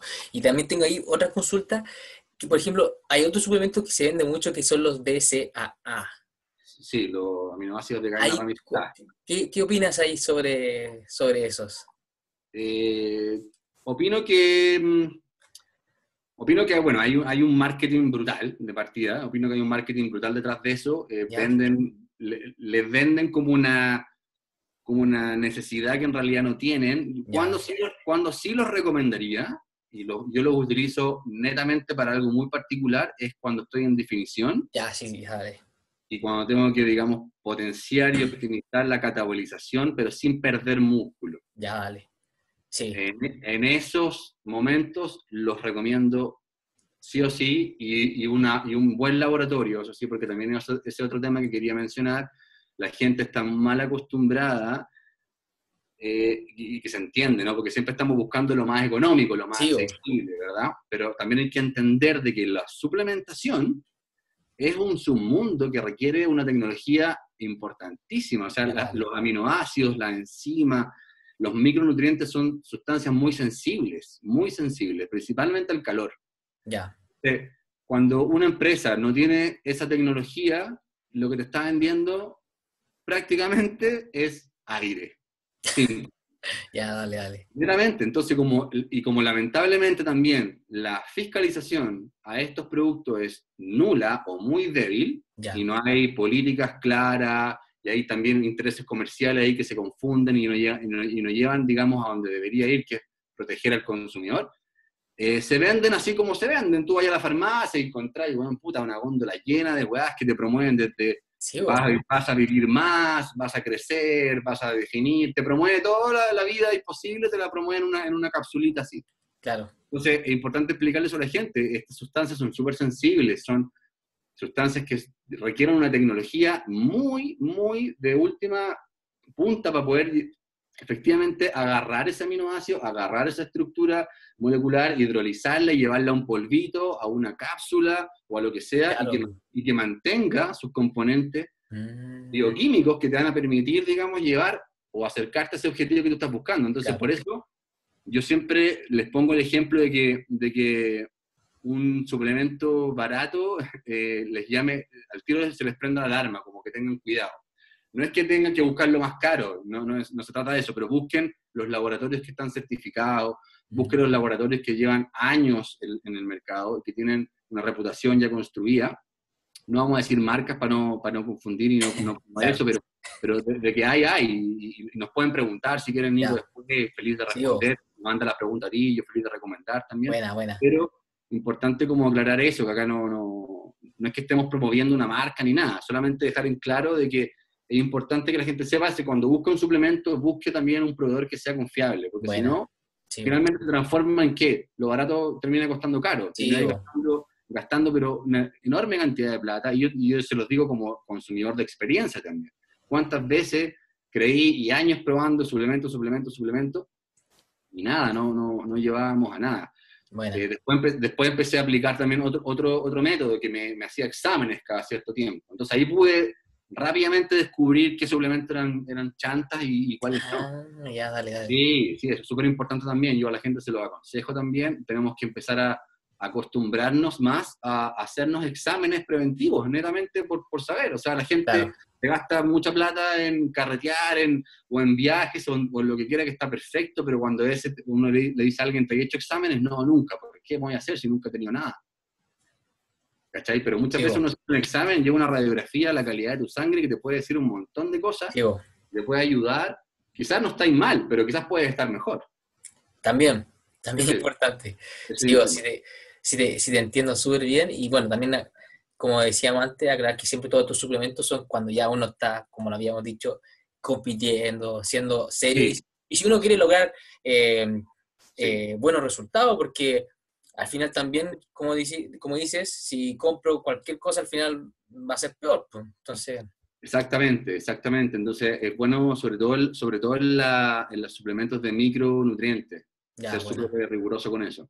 ya, El- bueno. el que efectivamente traiga, digamos, y las proteínas también, que venga con un perfil aminoácido testeado, que no sea cualquier cosa. Porque hoy día, eh, de hecho, muchas veces me escriben, oye, ¿qué, qué me recomendáis? Y les recomiendo algún suplemento, alguna vitamina, y me dicen, pucha, ¿sabéis qué? Lo, lo vi, pero es súper caro, ¿me podéis recomendar otro? O encontré este, esta otra que vale, no sé, seis veces menos, ¿cachai? Claro, Y yo le digo, pucha, la verdad es que ya probé ese que, que me estáis diciendo y no, no, y no tiene la biodisponibilidad, la concentración que, promete el envase y finalmente te vaya, te vaya a autoengañar. Quizás eso le, le va a servir a alguien que, que no entrena y que tiene un gasto calórico, una actividad física súper bajita. Puede ser, ahí, ahí ya deberíamos entrar en, otro- en- otro análisis, pero una persona que entrena probablemente tal, va a requerir que, esa, que esos suplementos que está consumiendo lleguen, digamos, a puerto de lo que Claro. buscando eh, en el organismo. Si no, claro. ¿Para qué? ¿verdad? Y solo también para agregar algo chiquitito, algo también que a mí me ha pasado, es con respecto a las proteínas, hoy día hay una cantidad enorme de marcas de proteínas veganas y, y hay algunas proteínas que me causan eh, un malestar estomacal eh, brutal a diferencia de otra. Y eso también puede hacer una diferencia a la hora de sentirse mejor. Sin duda, sin duda que sí. Eh, hay que tener ojo también con eso, con las proteínas. Hoy día también está muy de moda las proteínas veganas basadas en planta. Y ahí, y ahí lamentablemente creo que se, se, se, engaña mucho la gente, porque hoy día vegano está como un poco de moda, ¿no? Está como, se está como usando harto la palabra, el concepto, y muchas veces se habla de vegano cuando se refiere a basado en plantas o, o, o, viceversa, ¿no? Claro. Y, y, yendo netamente a lo que estás hablando de las proteínas, sí, pues pasa un poco lo mismo con, con, con lo que estábamos hablando antes de los suplementos. Se quieren subir muchas marcas al carro de lo, de lo que está de moda, la tendencia para generar ventas pero no, no hay un cuidado eh, eh, hacia el consumidor de explicarle, transparentarle. Por ejemplo, muchas marcas me da risa porque dicen eh, proteína vegana. Si estuviésemos en Estados Unidos, esa empresa que dice eso le, le, le, pondrían una multa, porque decir que es vegano y que, y que en la planta donde se procesa la misma hayan otros productos animales, eso es ilegal en, en, ciertos países de Europa y en Estados Unidos. Acá tú puedes llegar y yo puedo sacar mañana un suplemento que, bueno, no sé, es de arena con un poquitito de espirulina y te digo que es la raja para la piel y lo saco al mercado y, tengo que pasar los protocolos netamente comerciales, pero la fiscalización es muy, muy mínima.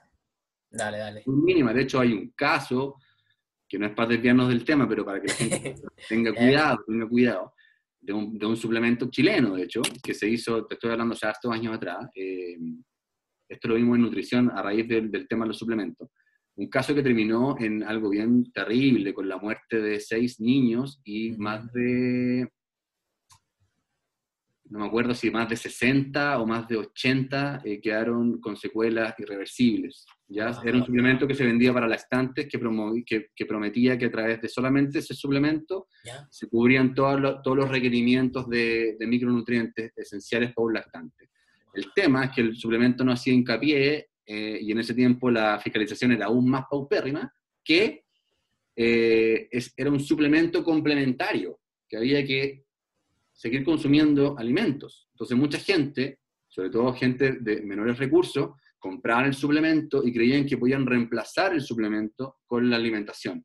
Ya. Terminó con seis casos de, de, de hecho, el, eh, había un nutricionista metido dentro del grupo de, de, empresarios ahí, eh, eh, terminaron con cárcel, tres años, los tres. no, fue un tema bien, bien complicado. Está en internet por si alguien lo quiere buscar. ahí. Yo no, no, había escuchado, así que pero, pero, la gente, por eso tiene que tener cuidado con los suplementos. No es, no, es un, no es un tema, yo sé que a veces se ve como muy fancy, como medio hipster, ah, yo también quiero, pero a veces la mayoría de la gente que consume suplementos, uno no, no los necesita Dos, porque tiene, tiene esos mismos compuestos en su refrigerador y no se había dado cuenta.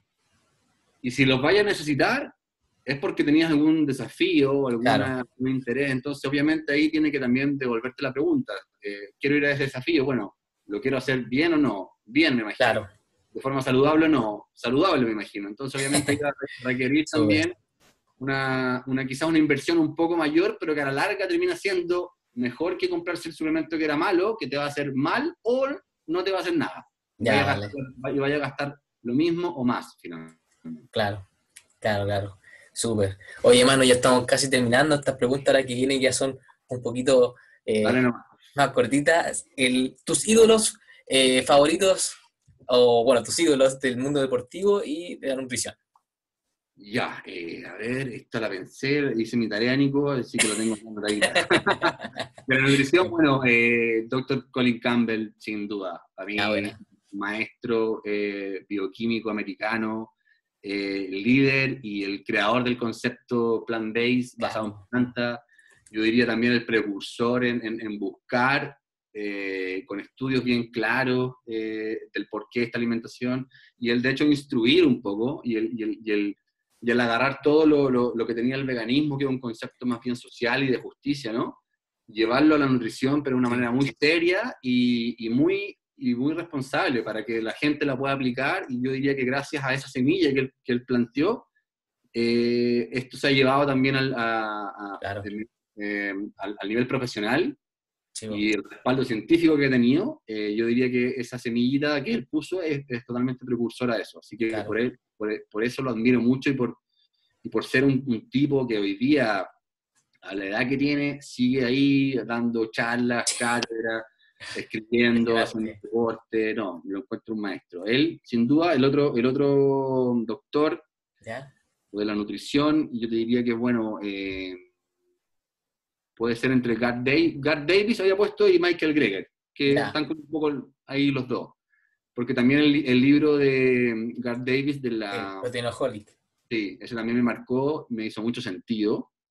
Y también me abrió, fue como la punta de la lanza que me abrió a, poner más atención a los micronutrientes. Ya, dale, dale. Que, es un submundo, yo creo, me encuentro fascinante. De hecho, me tiene muy alucinado ese, ese submundo.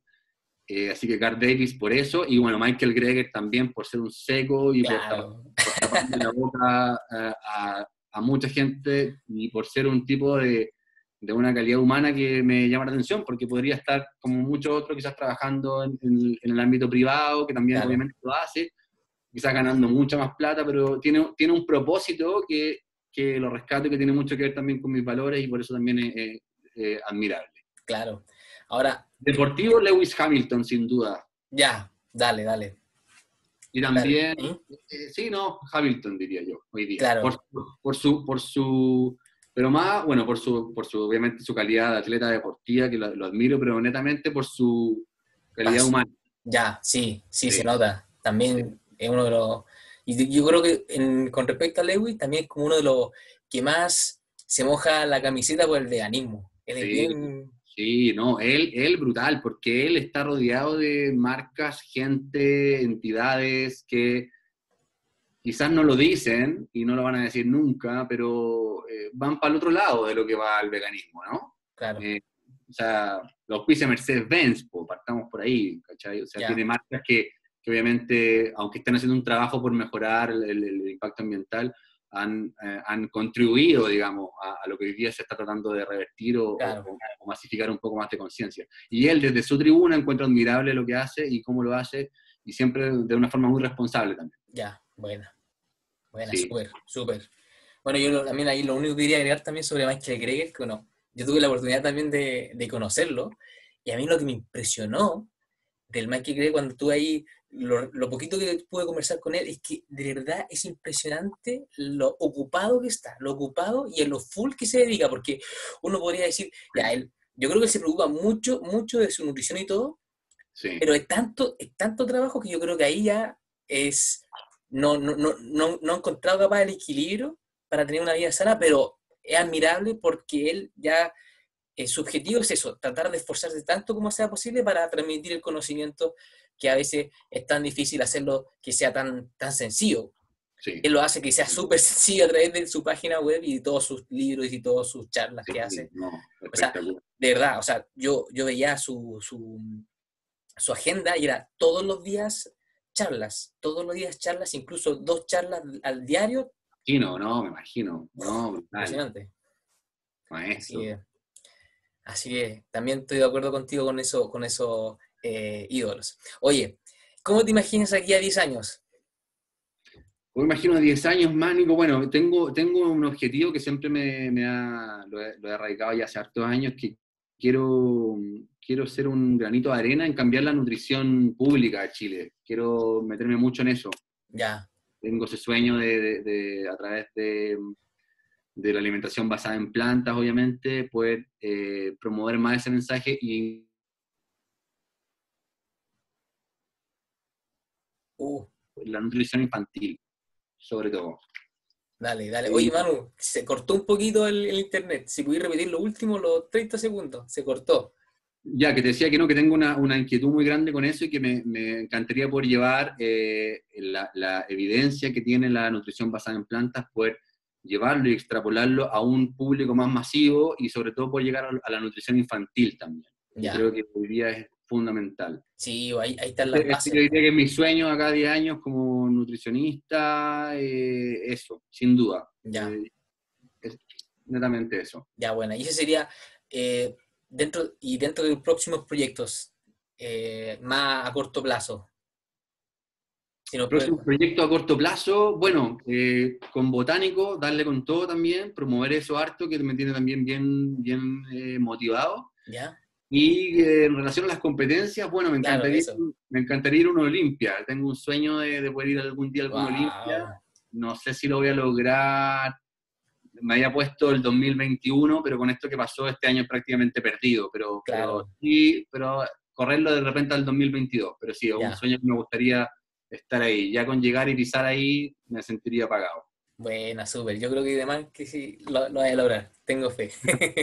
Oye, y último mensaje poderoso que pueda causar un impacto positivo en la gente y crear su mejor versión. Eh, primero que todo, decirles que em, la nutrición basada en plantas es una herramienta maravillosa para poder mejorar no solamente la salud y el aspecto físico, sino que también interno.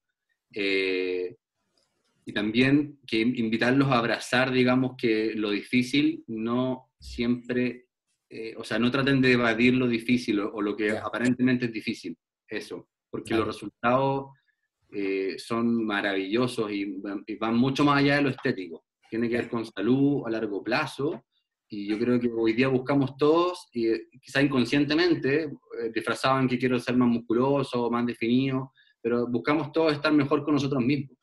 Claro. Entonces yo creo que, que en ese sentido, como avivarlos a esa búsqueda, no es que les esté diciendo que tengan, tienen que ser veganos para eso, pero avivarlos a esa búsqueda, incluso en la nutrición, incluso en el, ejercicio también. Y también a que pierdan el miedo a entrenar con pesas. Eh, hay que entender y reforzar, lo he dicho siempre, los músculos son órganos endocrinos que generan sustancias antiinflamatorias cuando entrenamos cuando lo, o cuando los ejercitamos o cuando los ocupamos. Entonces, desde ese punto de vista, entrenar no es una sugerencia eh, por tu físico, por tu caluga, o por llegar al verano sin polera, o porque te veas más linda, o por el bikini, sino que es una necesidad biológica. Entonces, que lo incorporen al menos desde ahí y les aseguro que les va a traer solamente aspectos positivos. Bueno, y que nunca es tarde para cambiar y nunca es tarde para cuestionarse las cosas. Así que también no tengan miedo a eso. Y no me crean a mí, no le crean al Nico, hagan su propia búsqueda y busquen y busquen, plantéense, eh, tengan una mente crítica. Creo que también es importante desarrollar la mente crítica y sobre todo hoy día está muy en boga como el ser más políticamente correcto y creo que ahí también nos hemos ido alejando de lo importante, porque las actitudes políticamente correctas suenan bonitos, suenan bien, pero carecen de valor. Y yo creo que hoy día eh, esto incluso lo ha demostrado la alimentación basada en planta. Insisto, no le estoy diciendo tienen que ser veganos para, pero a lo que voy es poner un ejemplo solamente, que, cómo ha crecido y cómo hasta dónde ha llegado es netamente por el respaldo científico que, que ha tenido. Si no, esto se hubiese destruido hace muchos años atrás. Así que crean en eso, tengan una mente crítica y abracen a veces que lo, lo difícil puede ser un desafío hacia algo inimaginable, y que les aseguro que va a ser un desafío que vale la pena. Buena. Buena, me encantó tu último mensaje poderoso, yo creo que resume muy bien muchas de las cosas que conversamos hoy día, así que de verdad yo estoy muy contento por haberte tenido acá, Manu, hoy día. De verdad, muchas gracias. ¿Dónde te podemos encontrar? ¿En Instagram? Sí, en Instagram principalmente estoy, bueno, ahora estoy un poquito ausente, trato siempre de estar más activo, pero sí, Instagram principalmente, me pueden encontrar ahí. Eh, estoy haciendo asesorías también nutricionales. Buena. Para quien, para quien requiera, eh, tanto nutricionales como de entrenamiento, y me pueden encontrar ahí también para poder conocer quizás un poco más de botánico, que es un, un emprendimiento que estoy desarrollando que tiene que ver con la nutrición basada en plantas no refinadas y de qué manera poder llevarla a, la mayor cantidad de gente posible independientemente de su objetivo. Buena, súper. Así que ya sabe, gente querida, dónde puede encontrar al Manu. Así que eso, pues. Nos estamos viendo en otra próxima entrevista. Adiós, un abrazo grande y recuerden seguir Impacto Positivo para crear su mejor versión. Chao. Nico, que estén muy bien. Abrazo.